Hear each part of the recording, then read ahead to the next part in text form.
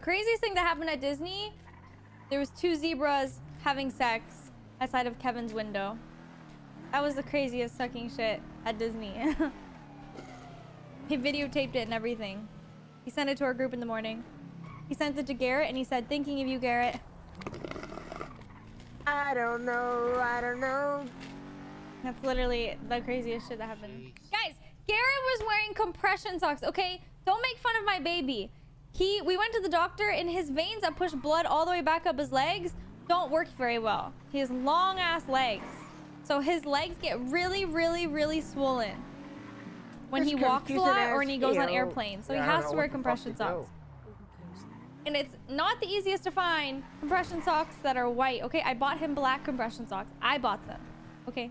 it wouldn't have been so hot over there if Ramee showed up spitting everywhere. It was a lot of fun. No dystopian. I didn't see that. Dystopian. I didn't see that. Hi Tanny, how are you? Yeah, the vlog should be good, guys. Should be good.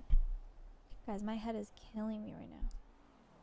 Yeah, Garrett's the best. It was for Garrett's birthday. I actually planned this months ago because he wanted to hang out with CG for his birthday, and I said, okay, let me plan this. And we were supposed to go to Jamaica originally, but then Garrett surprised me with a Jamaica trip. So I was like, okay, I can't surprise Garrett with a Jamaica trip now. Like, let's go to a different country.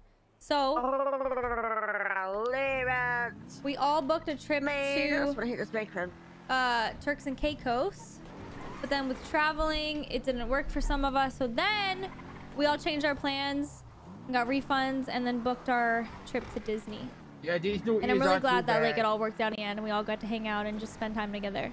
Honestly, it's like it is a family. What, Like uh, what did you say? it's not like You gotta call Marty. surface level shit, you know?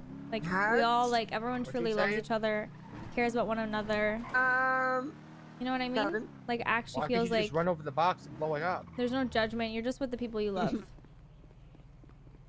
like you don't need to like I don't know how to explain it. It's just like hanging out with your family. So it felt it was really fun. And although obviously I'm newer into this family, Garrett and I've been dating for like nine months almost, but it's nice. Everyone treats me like family too, and I really appreciate it a lot. It was a it was a really fun time. We definitely want to do more trips like this. We want to internationally travel together and like be more fun like that. Oh, you want to make It's your own lightsaber ghoul? Let's do it.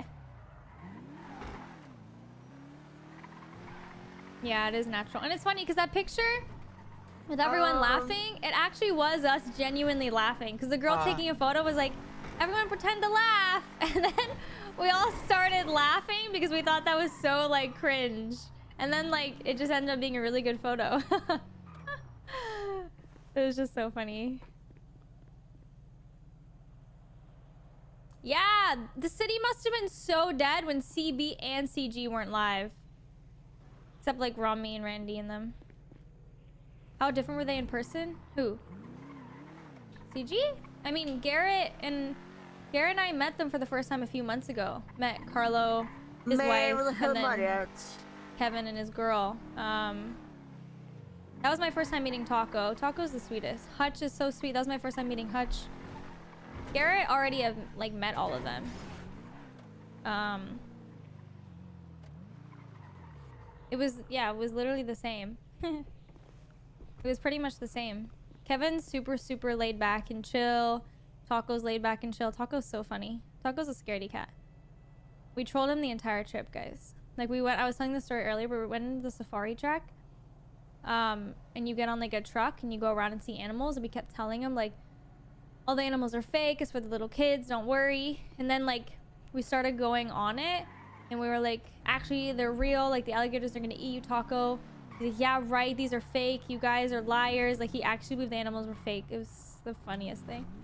And then anytime we went on the roller coasters, we would tell him like there's an insane drop, and he'd be so scared. But then there was no drop.